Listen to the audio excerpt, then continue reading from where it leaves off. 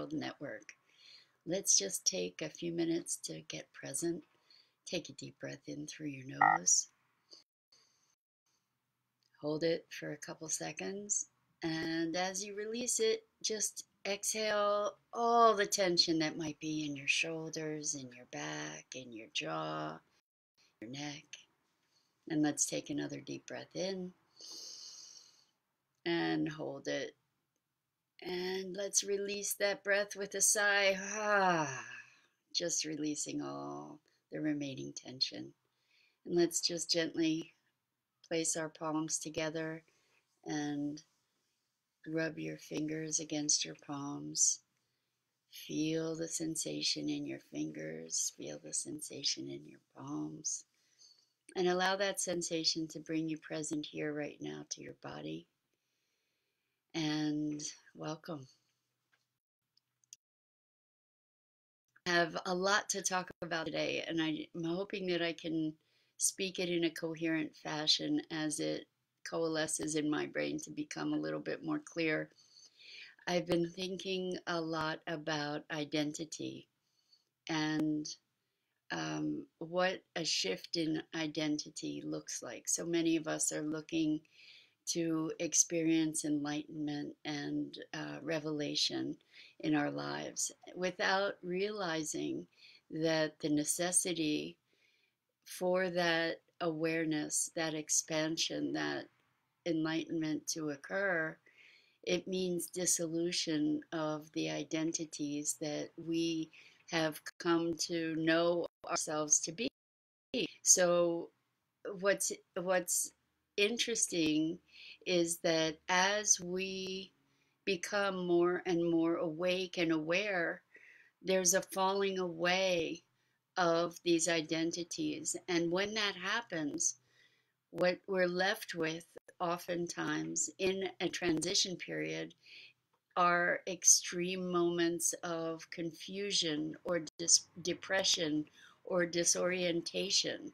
And the reason for that, or even fear, is because we the the known is falling away.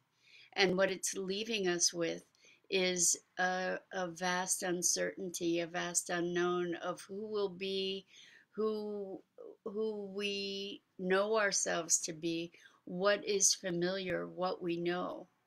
And uh, I've, I've been encountering or addressing this issue with a number of my coaching clients and have gone through this myself as well. Hi, Carol Ann. Thanks so much for joining us.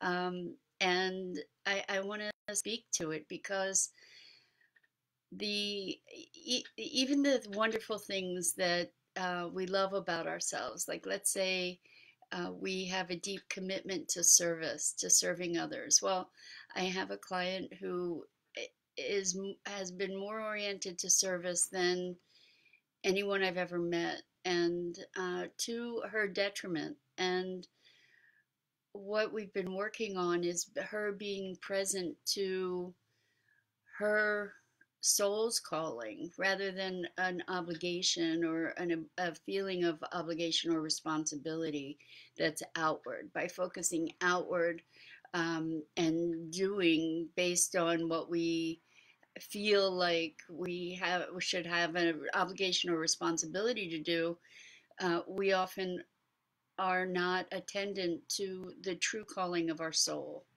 And so, in the face of all of this doing that this person has been doing, I've been encouraging her to focus on what's what is going on deeply in her own heart. And interestingly, what's arisen as disorientation and depression because she f- was finding that she didn't she wasn't compelled to do all the external service work that she's been engaged with. And um, what we discovered in plumbing those depths was that she didn't know how to just be with herself and and beyond the definitions with the external like with what we do in the world. And um, in in letting go or starting to let go of the external identity of service, which we would all probably agree is a wonderful and powerful thing. In releasing that identity, what was left was, oh my gosh, who am I? I don't I don't know how to orient myself. And one of the things that I notice about myself and folks that I have had the privilege to work with is that we cling to our identities of ourselves um, by as defined largely by what we produce in the outward world, whether it's money or service or a job or a product. And if that identity is removed, we find ourselves in a place of disorientation, fear, anxiety, depression because the familiar is going away. And what's happening here is that there's a stripping away, a falling away, an opening. Good morning, Linda. Um, a falling away of the externalities that we have defined ourselves with to bring ourselves into a greater sense of presence and being. And the fear that people have encountered in looking at ex- removing themselves, extricating themselves from these ideas of externalization is that they'll be doing nothing, that they'll be worth less. And the truth of it is that as we allow ourselves to re- release our grasping onto who we think think what we think we need to do as we release that what can emerge then is inspiration.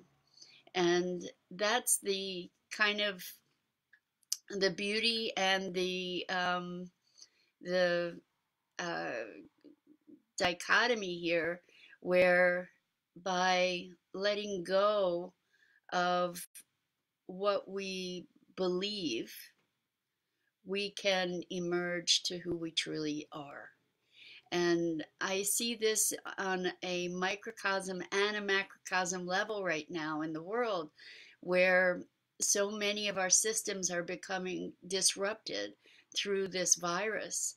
And uh, so many of our regular patterns have been disrupted and are falling away. And so many of us are experiencing a crisis of identity and the culture is also. And the beauty of this crisis of identity of the falling away is that in allowing this this destruction of what exists and the dissolution of what exists we allow for the emergence of a deeper truth and a more uh, heartfelt more soul felt soul guided truth and expression in the world. So uh, I, I see this as a spectacular moment.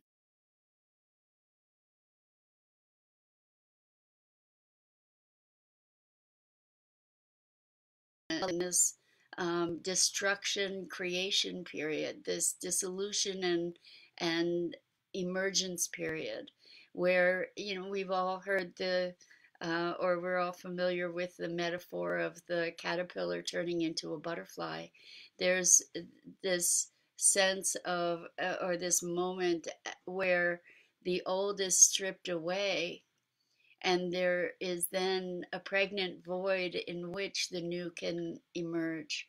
And that's what we're facing now, individually on a microcosm and globally in the macrocosm. Hey, Deb, welcome. So, uh, just to uh, um, to summarize, uh, when when there is a shift and a change, the the fear or anxiety or depression or uh, confusion or um, uncertainty that emerges is a natural is a natural progression and it heralds the opportunity for a new emergence. So, um, I, I remember years ago, I had the privilege of taking training with Tony Robbins. And one of the things that he said is if you're confused, it means you're going to learn something. And in this case, it, it what I'm inviting you to entertain is if you're feeling uncertainty, it means that there's an opportunity for the emergence of the new. So that's the thought for today. Growth and change means a dissolution or a destruction of the old, which then can engender fear and uncertainty as there's this ego death or death of known identities. And then as that falls away, there's room for emergence of the new. And with that, I give you my love and deep compassion and gratitude for you providing me the opportunity to share this with you. And um, yeah, so today's invitation is to the uncertainty and allow the opportunity for your truer expression to emerge with so much love.